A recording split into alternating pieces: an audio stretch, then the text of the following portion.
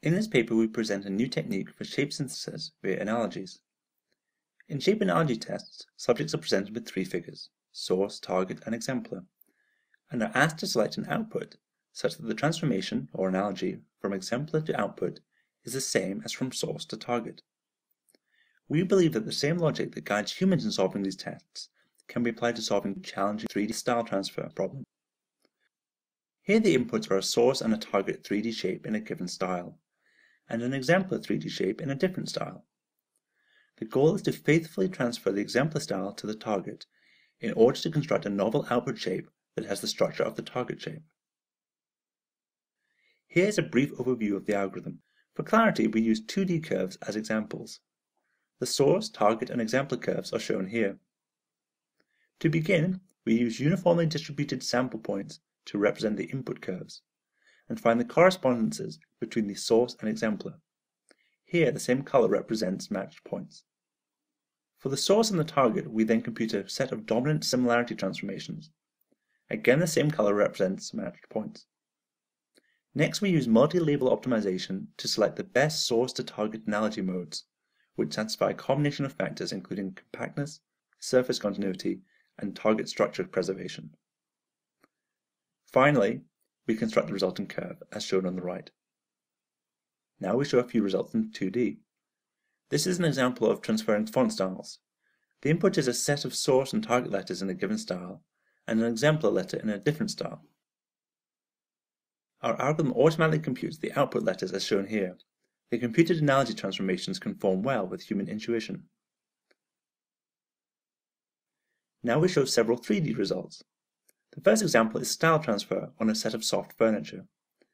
Here we have three target models in the same style as the source armchair, and two exemplar models with different styles. The top row shows the optimized source to target analogy modes. These are the output models using our algorithm. Note how the exemplar style is consistently transferred to each target model. These are the results by using the second exemplar.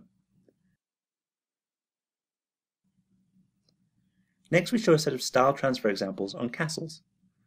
The green model on each row is the exemplar. The corresponding model on the first row is the source, and the remaining two are the target models. Here are the output models using the first exemplar, and the output models using the second exemplar, and the third. Here is an illustration of our algorithm for scan completion. The inputs are a partial scan that represents the exemplar shape and a template shape with desired self-similarity transformations. The template shape simultaneously provides the source and target, where the source is the set of points on the template that correspond to the exemplar, and the target is the entire template shape represented by points. The colored patches here show the optimal analogy transformations computed by our algorithm. Here is the output before patch alignment, and after alignment. Finally, we obtain the reconstructed surface. Note how the result retains both the style of the partial scan and the symmetries of the template. This is an example of a scanned chair model. The scan lacks large portions of the legs and back, which are correctly reconstructed using our method by leveraging the template self-similarity transformations.